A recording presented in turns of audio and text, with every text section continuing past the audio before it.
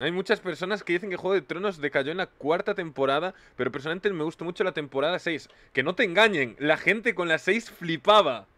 La temporada 6 de Juego de Tronos fue un evento tan, tan, tan grande con la batalla de los bastardos que todo el mundo hablaba de eso. O sea, eso era una cosa espectacular. Creo que hasta en la Super Bowl hicieron algo con la batalla de los bastardos, algo así. Una cosa increíble lo de la temporada 6 de Juego de Tronos. Que no te engañen. Que el revisionismo de los Breaking Badistas no te mienta. Rumba, rumba, rumba, rumba. Ahora el anime matará a la media en este canal. Bueno, a la reco de les van a mejorar las escenas. Pues mira, si las mejoran, mejor, ¿no? Obviamente.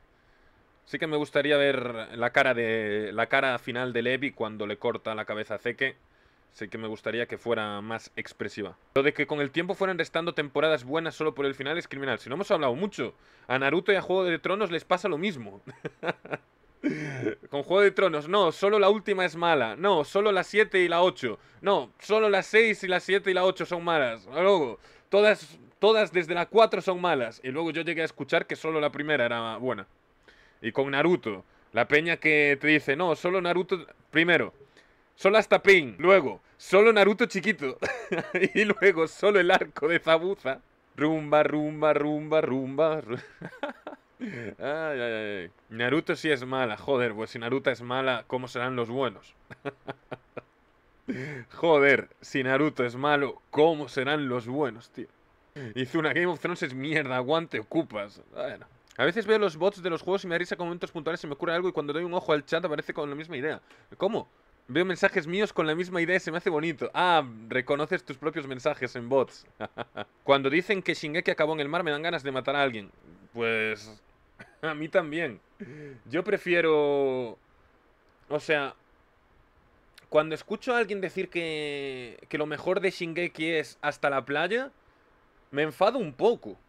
Porque hasta la playa, pues, era un shonen bueno, que tenía peaks, ¿no? Shiganshina es tremendo. Pero lo que la hace verdaderamente especial para mí es el, el post-timeskip. Vale, a partir de Marley es cuando ya eso se vuelve una barbaridad absoluta para mí. Entonces cuando alguien dice, no, todo lo que viene después de la playa es mierda. Imagínate. Imagínate. Vale, no, es que Shiganshina es God y Erwin es God, pero lo que viene después... Joder, a partir de Eren Kruger es completamente cine todo. Es que... Casi me termino Evangelion. ¿Cuándo debo mirar la película? Ah, si quieres hacerme caso y seguir mi orden mamador, cuando veas el capítulo 24, ahí, cuando lo termines, te vas a ver la película.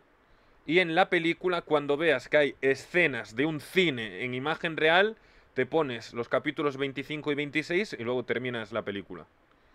¿Qué orden mamador? Sí, pero me lo agradecerás. Confía en mí. Nunca me vi Evangelion, vale la pena. Bueno, anime de luces y sombras. Rumba, rumba. ¿Quieres bailar conmigo la rumba? Sí. Por ahí escuché que Ruby es mejor personaje que Gaby. Primero que sea el mejor personaje de su obra. Rumba, rumba, rumba.